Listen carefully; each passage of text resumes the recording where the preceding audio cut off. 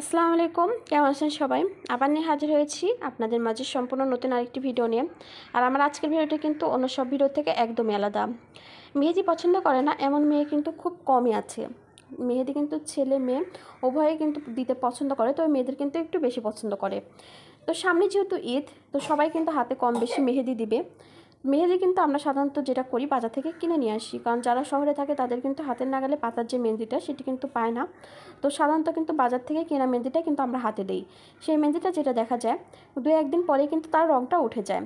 এসব কথা মাথায় রেখে আজ আমি আপনাদের মাঝে ঘরোয়া একটা মেহেদি তৈরি করার রেসিপি নিয়ে চলে এসেছি। এই ভিডিওটি দেখার পরে আপনারা বাসায় যদি মেহেদি তৈরি করে হাতে লাগান, সে মেহেদির রং কিন্তু এক বছরে উঠবে না। এটা আমি আপনাদেরকে একশো পার্সেন্ট গ্যারান্টি দিয়ে বলে দিচ্ছি। খুবই সহজ উপায়ে বাসায় থাকা উপাদান দিয়ে কিন্তু এই মেহেদিটা আপনারা বাসায় তৈরি করতে পারবেন। আর এতে কিন্তু কোনো কেমিক্যাল নেই, ফলে কিন্তু আপনাদের হাতে বা অন্য স্কিনের কিন্তু কোনো ক্ষতি হওয়ার কোনো সম্ভাবনা নেই। এটি কিন্তু খুবই সহজ এবং একশো ভাগ কার্যকরী একটা ঘরোয়া পদ্ধতি।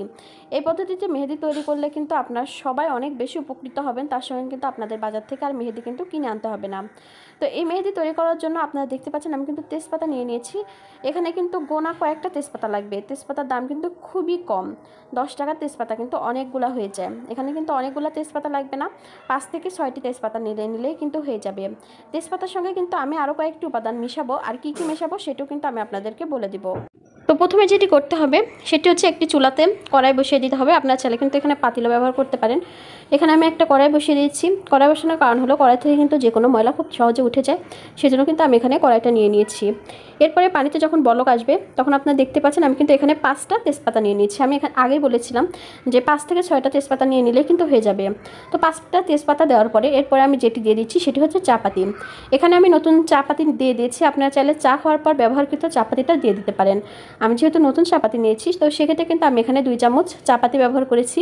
আপনারা যদি ফেলে দেওয়া চাপাতি অর্থাৎ চা খাওয়ার পরে চাপাতিটা ব্যবহার করেন, সেক্ষেত্রে কিন্তু আপনারা চার চামচের মতো দিয়ে দিবেন। এরপর একটি চামচের সাহায্যে একটু নেড়ে দিব। এরপরে যে জিনিসটি দেব, সেটি হচ্ছে এক চা চামচের মতো প্রায় চিনি। চিনিটি দেওয়ার পরে এই উপাদানটা কিন্তু প্রায় লেগে লেগে যাবে। তো সেক্ষেত্রে কিন্তু আপনি চামচ দিয়ে অনবরত নাড়তে থাকবেন। এভাবে কিন্তু বেশ কিছু সময় নাড়ার পর দেখবেন এই রেমেডির কালারটা কিন্তু অনেক বেশি গাঢ় হয়ে গিয়েছে বা খয়েরি, গাঢ় খয়েরি একটা কালার চলে এসেছে।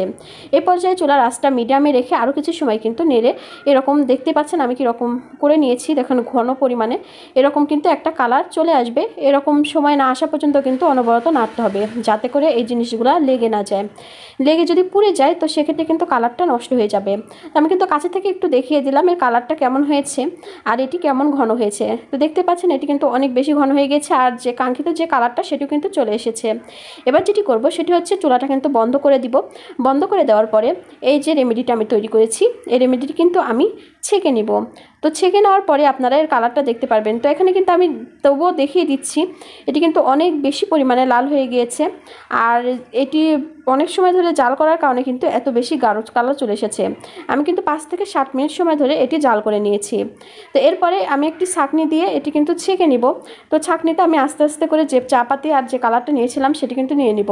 এটি দেখতেই পাচ্ছেন অনেকটা কিন্তু ঘন হয়ে গিয়েছে। একদমই কিন্তু পাতলা নেই। যেহেতু পানির পরিমাণটা কম ছিল আর চাপাতিটা একটু বাড়িয়ে দেওয়া হয়েছে যাতে করে মেহেদির রঙটা আরও বেশি গাঢ় হবে। তো এবার যেটি করতে হবে, একটি চামচের সাহায্যে চাপ দিয়ে দিয়ে কিন্তু এর রেমেডির যে রসটা, অর্থাৎ যে কালারটা সেটি কিন্তু বের করে নিতে হবে। যেহেতু এটা আমি কিছু সময় ধরে জাল করে অনেক বেশি শুকিয়ে ঘন করে ফেলেছি, তো সেক্ষেত্রে কিন্তু চাপ দিয়ে দিয়ে বের করে নেওয়া হচ্ছে। তো দেখতে পাচ্ছেন, আমি কিন্তু এখানে প্রায় এক কাপের মতো পানি দিয়েছিলাম। সেটি শুকিয়ে কিন্তু আমি এখানে তিন, চার চামচের মতো যে মিশ্রণটা, সেটি কিন্তু বানিয়ে নিয়েছি। তো এইভাবে কিন্তু চেপে চেপে কয়েক ফোঁটা করে করে কিন্তু বেশ খানিকটা পরিমাণে এই কালারটা হয়ে গিয়েছে। তো দেখতে পাচ্ছেন, এই কালারটা কিন্তু অনেক বেশি গাঢ় আর আমি হাত দিয়ে ধরেছি, আমার হাতটা কিন্তু অনেকটা লাল হয়ে গিয়েছে। তো এবার দেখুন, আমি দেখিয়ে দিচ্ছি, এই কালারটা কিন্তু অনেক বেশি গাঢ় হয়ে গিয়েছে। এবার এই কালারের মধ্যে কিন্তু একটি সিক্রেট জিনিস মেশাবো, আর সেটা কি মেশাবো সেটা কিন্তু আমি পরে বলে দিব। সেটি কিন্তু ভিডিও যে কোনো সময় আমি বলে দিব, এর পরের যে উপাদানগুলো সেটি কিন্তু আমি আপনাদেরকে এখন দেখিয়ে দিব। আর একটা সিক্রেট যে জিনিসটা মিশিয়েছি, সেটি দিয়ে কিন্তু কালারটা আরও বেশি ভালো হবে। সেই জিনিসের নামটা কিন্তু আমি পরে এক সময় বলে দিব। তো এবার দেখতে পাচ্ছেন আমি কিন্তু একটু নেড়ে কালারগুলো একটু অ্যাডজাস্ট করে নিচ্ছি। এরপরে এর মধ্যে দিয়ে দিচ্ছি কিছুটা পরিমাণে ময়দা। আমি কিন্তু আবার বলে দিয়েছি, এখানে কিন্তু আমি একটা জিনিস মিশিয়ে দিয়েছি। আর সেই জিনিসটা কি, সেটি কিন্তু আমি আপনাদেরকে ভিডিওর কোনো একটা সময় বলে দিব। তো একটু আটা বা ময়দা যেটাই বলা হোক না কেন, মিশিয়ে কিন্তু এরকম অল্প অল্প করে দিয়ে কিন্তু নেড়ে দিবেন। একবারে কিন্তু বেশি পরিমাণে দিবেন না, সেক্ষেত্রে কিন্তু অনেক বেশি শক্ত হয়ে যেতে পারে। একটু একটু করে দিয়ে কিন্তু এরকম চামচ দিয়ে নেড়ে নেড়ে মিশিয়ে নিতে হবে। অনেক বেশি কিন্তু ঘন করা যাবে না, আর অনেক বেশি কিন্তু পাতলাও করা যাবে না। যেরকমভাবে আমরা মেহেদিটা হাতে দেই বা মেহেদি পাতার মেহেদি যেভাবে বেটে আমরা হাতে দিই, সেরকম একটা পরিমাণে বা তার থেকে একটু নরম রাখতে হবে। তো এই পর্যায়ে আমি দেখতে পেলাম যে আমার মেহেদিটা একটু পাতলা হয়ে গেছে, তো সেক্ষেত্রে কিন্তু আমি আরেকটু আটা মিশিয়ে এটি একটু শক্ত করে নিলাম। মিশানোর পরে কিন্তু আমি চামচ দিয়ে আবার খুব ভালোভাবে নেড়ে নিচ্ছি যাতে করে এই উপাদানগুলো খুব ভালোভাবে মিশিয়ে যায়। আর এটির কালার যে কেমন আসবে সেটি কিন্তু আমি আমার হাতে অ্যাপ্লাই করে আপনাদেরকে দেখিয়ে দেবো।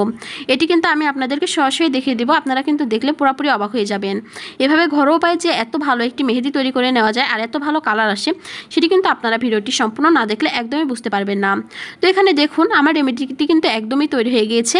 এবার এই রেমেডিটি আমি ব্যবহার করে আপনাদেরকে দেখিয়ে দেবো। তো প্রথমে কিন্তু আমি কিছুটা পরিমাণে রেমেডি আমার হাতু তালিতে লাগিয়ে দেখিয়ে দিচ্ছি।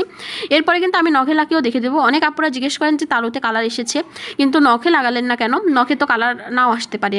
তো তাদের জন্য কিন্তু আমি দুই স্থানেই কিন্তু এই রেমেডিটি লাগিয়ে কালারটা কেমন আসে সেটি কিন্তু দেখিয়ে দিব। তো এখানে দেখতে পাচ্ছেন, আমি কিন্তু তো হাতের যে তালু সেটাতে দিয়ে নিচ্ছি, আবার যে নখ, নখেও কিন্তু এই মেহেদিটা দিয়ে দিচ্ছি। তো মেহেদিটি কিন্তু আমি শুধু নখে দিচ্ছি, আপনারা চাইলে কিন্তু পুরো আঙ্গুলে অর্থাৎ এক কর পর্যন্ত কিন্তু দিয়ে নিতে পারেন, যেভাবে পাতার মেহেদিটা আপনারা ব্যবহার করেন। তো আমি যেহেতু এভাবে নিচ্ছি না, আমি কিন্তু শুধু নখে একটু করে দিয়ে দিচ্ছি। আপনারা আপনাদের ইচ্ছা মতো কিন্তু এরকম, এটা দিয়ে ডিজাইন করে নিতে পারেন। আবার যাদের বাসায় খালি মেহেদির প্যাকেট আছে, তারা কিন্তু এই মেহেদির ভিতরে প্যাকেটের ভিতরে এই মেহেদিটা ঢুকিয়ে কিন্তু টিউব মেহেদির মতো ব্যবহার করতে পারেন।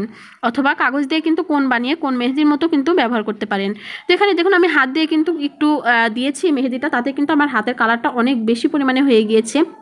এরপরে এটা আমি মুছবো না। দেখব যে আসলে কালারটা কীরকম হয়। এভাবে কিন্তু আমি প্রায় দুই মিনিটের মতো রেখে দিয়েছি। বেশি সময় রাখিনি। বেশি সময় রাখলে কিন্তু এর কালারটা আরও বেশি হয়ে যাবে। দুই মিনিটে আর কেমন কালার এসেছে সেটি আমি আপনাদেরকে দেখিয়ে দিচ্ছি। তো দেখুন, আমি কিন্তু দুই মিনিট রাখার ফলে কিন্তু আমার মেহেদির যে কালারটা সেটি কিন্তু এত ভালো পরিমাণে চলে এসেছে। এখানে যদি আপনার পাঁচ থেকে সাত মিনিট রাখেন, তাহলে বুঝতে পারছেন এটির কালার ঠিক কতটা গাঢ় হবে। আর যা, আমি যে আঙ্গুলটা, যে মেহেদিটা দিয়েছিলাম, সেই আঙ্গুলের কালারটা কিন্তু অনেক চেঞ্জ হয়ে গিয়েছে।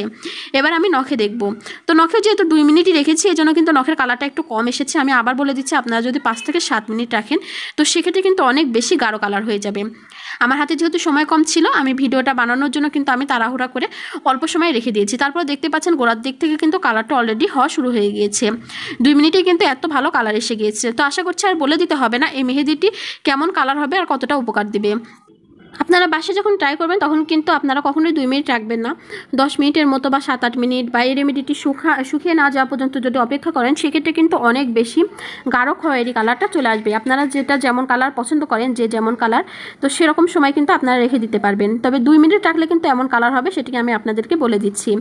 আপনারা কিন্তু কখনোই দুই মিনিট রাখবেন না। তো এই সিক্রেট যে জিনিসটা আমি মিশিয়েছিলাম আগে থেকে আমি বলে দিয়েছিলাম, সেটি হচ্ছে পাটারি বা গুড়, খেজুরের যে গুড়টা আছে, সেটি কিন্তু আমি কিছুটা পরিমাণে এই রেমেডিতে আগের থেকে মিশিয়ে দিয়েছিলাম। এটা আমি বলেছিলাম যে আমি আপনাদেরকে পরে জানিয়ে দিব। তো কথা কথায় কিন্তু ভিডিওর একদমই শেষ পর্যায়ে চলে এসেছি। আমার আজকের ভিডিওটি আপনাদের কাছে কেমন লেগেছে? আশা করছি সবার কাছে অনেক বেশি ভালো লেগেছে এবং সবার অনেক বেশি উপকারে আসবে। আজকের মতো এই পর্যন্তই। সবাই ভালো থাকবেন, সুস্থ থাকবেন। এরকম নিত্য নতুন যে কোনো ধরনের ভিডিও পেতে অবশ্যই আমার চ্যানেলের পাশে থাকবেন। আল্লাহ হাফেজ।